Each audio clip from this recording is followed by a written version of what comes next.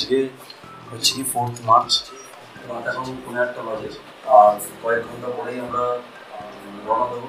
আমাদের প্রথম সব থেকে দূরের ট্রিপ লাইফের সব থেকে বড় ট্রিপের জন্য তৈরি হচ্ছি মানে অ্যাকচুয়ালি মাঝরাতে এর মধ্যে আমাদের টার্গেট হচ্ছে রাত্রি নটা থেকে দশটার মধ্যে শিলিগুড়ি ঢুকে যাওয়া। প্ল্যানিংটা সেরকমভাবে করেছি। আমাদের প্যাকিং মোটামুটি কমপ্লিট তাড়াতাড়ি ডিনার করে শুয়ে পড়ব। এতটা লম্বা জার্নি বাইকে করাটা অনেকটাই রিস্কি আমার কাছে। এই স্লিপ ডিস্ক নিয়ে আমি সান্দাকফু ট্রেকিং করেছি। আর না দেখে থাকলে আমি দিয়ে দিচ্ছি। পারলে দেখো ছজন যাচ্ছে তিনটে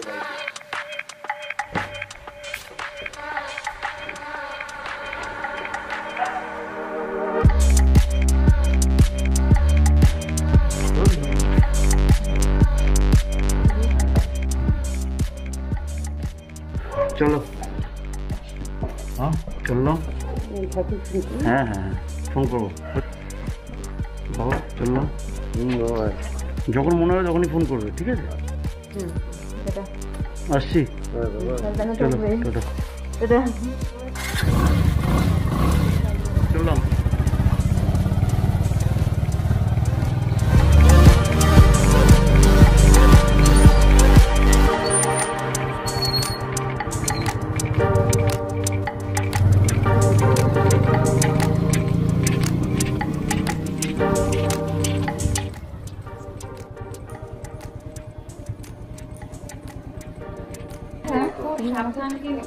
চললাম আসছি তাহলে আমার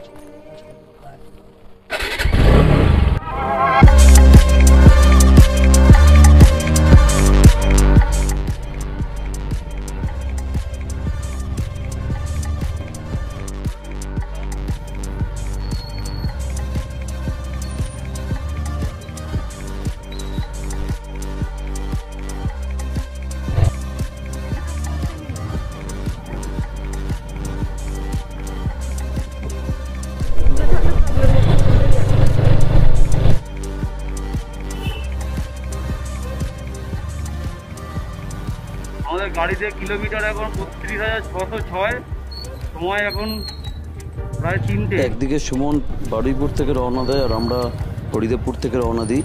আমাদের মিটিং পয়েন্ট ছিল টালিগঞ্জ। আমরা প্রায় টালিগঞ্জ পৌঁছে গেছি। সুমনের এখানেই আসার কথা তো আমরা ওর জন্য অপেক্ষা করব এখন। আমি ব্যাগগুলোর প্যাকেটে প্লাস্টিকে ভরলাম না রে। কলকাতা তো শিলিগুড়ি মেরেছিস? কলকাতা তো শিলিগুড়ি মার। কটা বাজে আগে এখন তোমার এখন বাজিয়ে দু দুটো ছাপ্পান্ন। মানে তিন তিনটে। দশ মিনিট হ্যাঁ তিনটে বললাম তো তোকে ঠিক তিনটের সময় বেরো। অসুবিধা নেই। ঠিক আছে? হ্যাঁ আমি তো ও বলে দিয়েছিল আমাকে। এই ঠিক আছে না সাইজটা? হ্যাঁ ঠিক আছে ঠিক আছে। একটু আছে এতটা। বড় আছে। হাতে ধরে নিয়ে যাওয়ার জন্য। কম্পারেটিভলি একটু বড় আছে। একটু বড় হ্যাঁ। হেডফোনটা একটু ফোনটা একটু হেডফোন না। হ্যাঁ এখন ঠান্ডা গরম যা গরম পড়ে। হ্যাঁ যা গরম পড়েছে। এখন বাজে তিনটে। আমরা এখন টালিগঞ্জে। এখান থেকে দেখাচ্ছে তেরো ঘণ্টা লাগবে শিলিগুড়ি। চেষ্টা থাকবে রাত্রিতে নটা দশটার মধ্যে শিলিগুড়ি ঢোকার। পুরো টিম এখানে। ঠিক আছে? ফাইনালি আমরা তিনটের সময় গাড়ি স্টার্ট দিলাম শিলিগুড়ির উদ্দেশ্যে। এখান থেকে দেখাচ্ছে তেরো ঘণ্টা পাঁচশো সাতাশি কিলোমিটার। তেরো ঘণ্টা দেখি আমরা কত করে ঢুকতে পারি। দেখাচ্ছে ভাই এই তো সোজা দেখাচ্ছে হাওড়া হয়ে। সেকেন্ড ব্রিজ হয়ে গেলে ভালো হতো। তো সেকেন্ড ব্রিজ হয়েছ এই জন্য অ্যাড স্টপেজ করতে বলেছিলাম।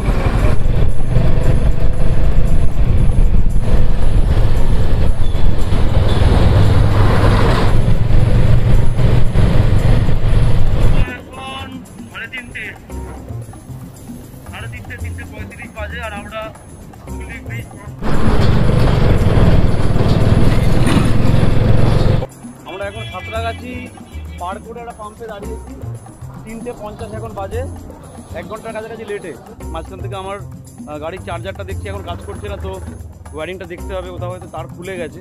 আমরা পাম্পে দাঁড়িয়েছি একটা। Pump is the safest place for break চেষ্টা করব প্রায় চল্লিশ পঞ্চাশ কিলোমিটার মিনিমাম গিয়ে তারপরে রেস্ট নেওয়ার তারপরের ব্রেকে দেখা হচ্ছে।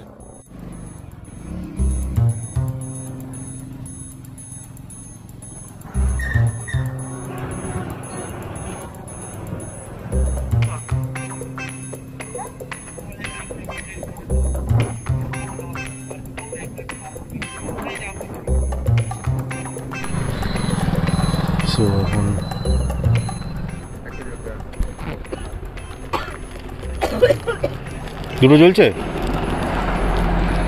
না একটা জ্বলছে। একটা খুলে দিলাম ওটা ব্লিঙ্ক করছে। ভালোই ছিল এখন খারাপ হয়ে গেলে আর কি করা যাবে? পাঁচটা পঁচিশ আমরা দেড় ঘণ্টা ক্রস করলাম।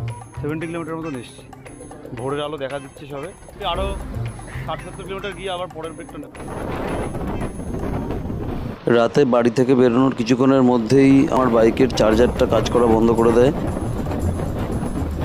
তার সাথে একটু পরে দেখতে পাই যে ফগ ল্যাম্পও জ্বলছে না। তো ফগ ল্যাম্পটা ডিসকানেক্ট করি। বেশি সময় নষ্ট করা যাবে না, এটা ভেবেই আমরা আবার এগিয়ে চলি। নবদ্বীপ পার করে আমরা আমাদের তৃতীয় ব্রেক নিই।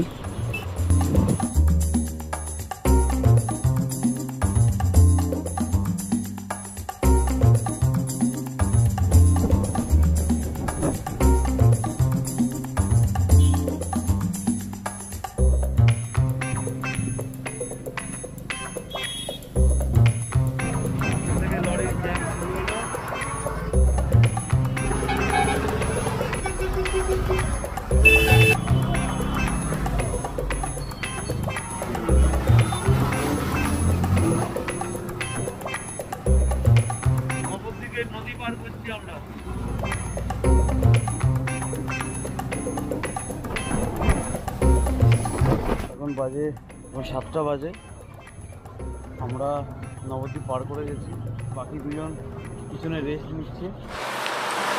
আমরা এখন নবদ্বীপ থেকে বেরিয়ে এলাম, তাই তো? নবদ্বীপ থেকে বেরিয়ে এলাম। কৃষ্ণনগর থেকে দশ এগারো কিলোমিটার দূরে আছি। সাতটার সময় এখানে এসেছি। আধ ঘণ্টা মোটামুটি ব্রেক টাইম নিচ্ছি। চার ঘণ্টা ড্রাইভ করলাম একটা না মোটামুটি একশো তিরিশ, একশো চল্লিশ কিলোমিটার মতন ড্রাইভ করেছি। এখনও অবধি রাস্তার কন্ডিশন ঠিকঠাকই পেয়েছি। গুগল দেখাচ্ছে মোটামুটি ছটা বাজবে ঢুকতে। আদিকপুরে আমরা বহরমপুরের রুটটা নিলাম। এখান থেকে রাস্তাটা খারাপ শুরু হলো তার সাথে ট্রাকের জ্যাম শুরু হলো। বহরমপুরে ঢোকার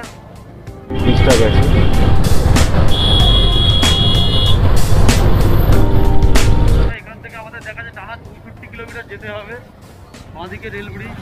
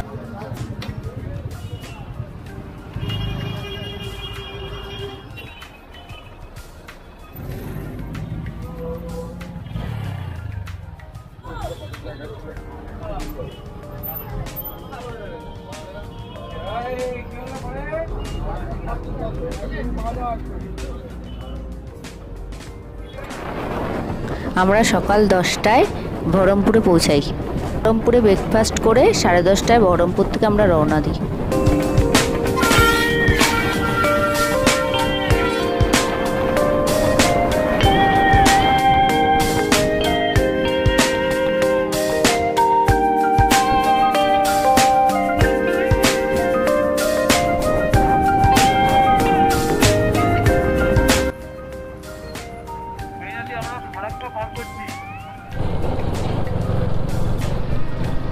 আমরা দুপুরে একটায় ফারাক্কা ব্রিজে পৌঁছাই। প্রচণ্ড গরমে এবং ধুলো ধোয়াতে শরীরে ক্লান্তি বাড়তে থাকে।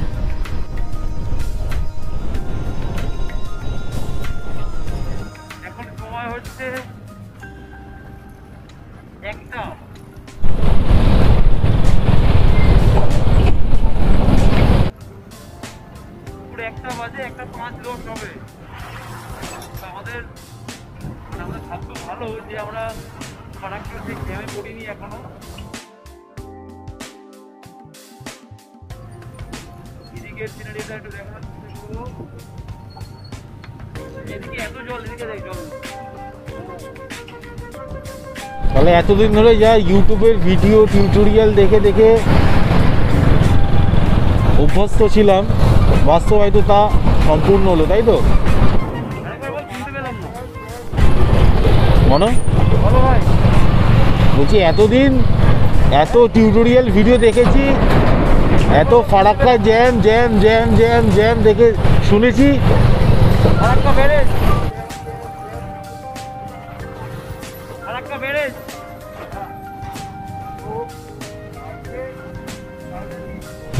আজকে ফাইনালি বাইক চালিয়ে সেটা ফেস করে নিলাম যে সত্যি খুব জ্যাম হয় এখানে।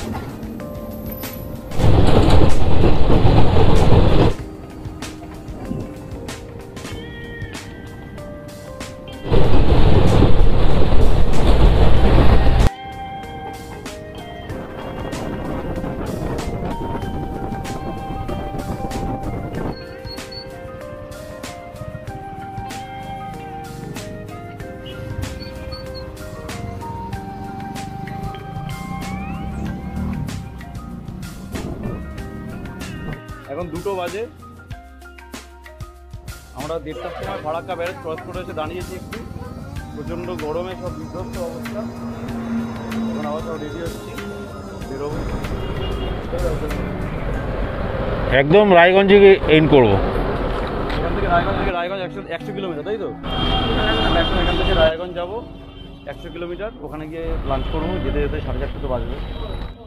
পাঁচটার মধ্যে ওখান থেকে বেরোতে হবে। যাওয়ার পর এখানে যতটা টানা ট্রেন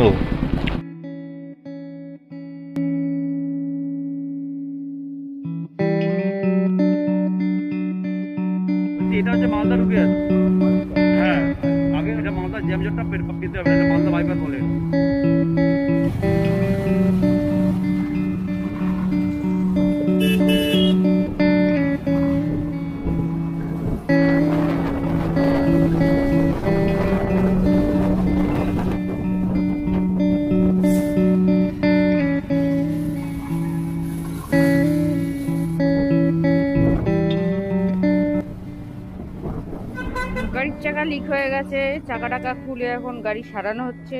তারপরে আমাদের রায়গঞ্জ হয়ে শিলিগুড়ি যাওয়া হবে। এখনও অবধি আমাদের খাওয়া দাওয়া কিছু হয়নি।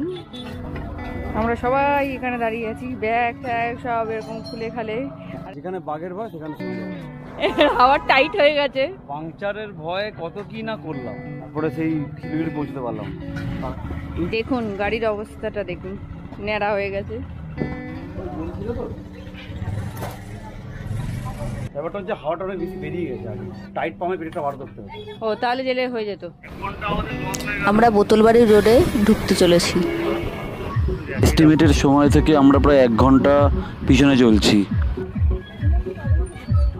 হ্যাঁ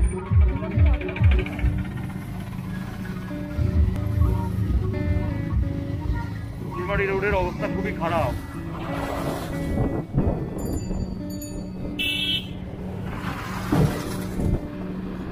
এখন সন্ধে সাড়ে ছটা বাজে। প্ল্যান ছিল সন্ধ্যের আগে বোতলবাড়ির রাস্তাটা ক্রস করে যাওয়ার। কিন্তু তার হলো না, বোতলবাড়ির রাস্তায় এখনও পর্যন্ত আমাদের ষাট কিলোমিটার বাকি আছে।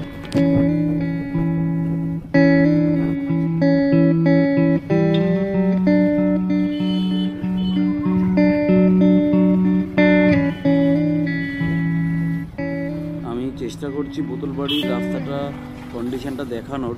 যদিও প্রচণ্ড অন্ধকার, রাস্তায় কোনো আলো নেই, তাও ভিডিওটা রেকর্ড করে চলেছি যদি রাস্তার কন্ডিশনটা কিছুটা বোঝা যায়।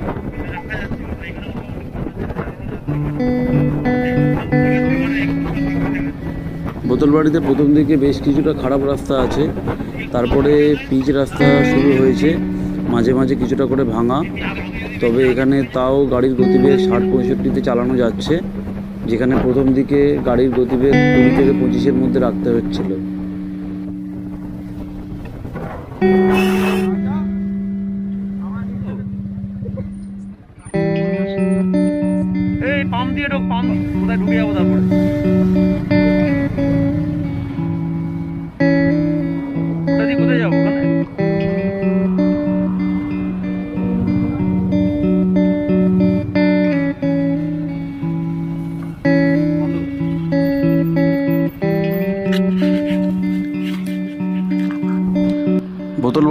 রাস্তা ক্রস করে আমরা একটা টি ব্রেক নিয়েছিলাম ইসলামপুর বাইপাসে উঠে। ইসলামপুর থেকে শিলিগুড়ি দূরত্ব পঁচাত্তর কিলোমিটার দেখাচ্ছে। ইসলামপুরের পর থেকে রাস্তা খুবই ভালো যার জন্য আমরা আশি নব্বইতে গাড়ি চালাতে পেরেছি যার জন্য আমরা একটু তাড়াতাড়ি পৌঁছতে পারব আশা করছি।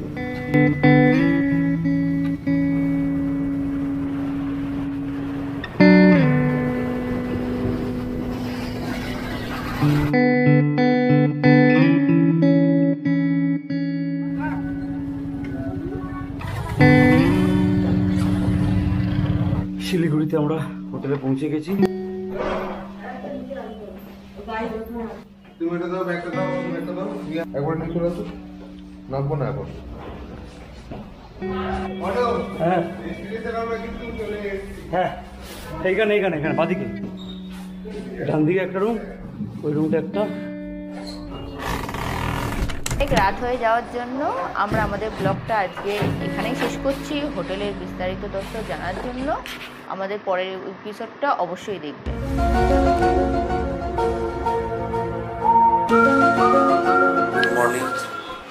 দিয়ে গাড়ি বার ঢুকিয়েছি।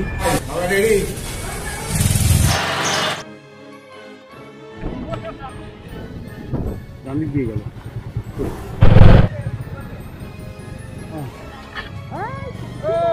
কি হলো? এই অংশতে আরও চারজন আসছে। তোকে? না আমি ডেকেছি তোকে।